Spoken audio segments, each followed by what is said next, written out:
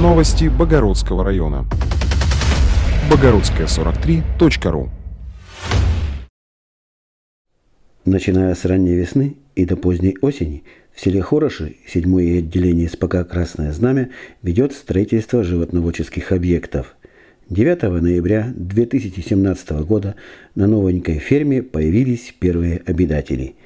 В ближайшее время весь двор будет заполнен молодняком. Обустраиваются и подъездные пути, вся территория будет выложена железобетонными плитами. И с кормами здесь тоже все в полном порядке.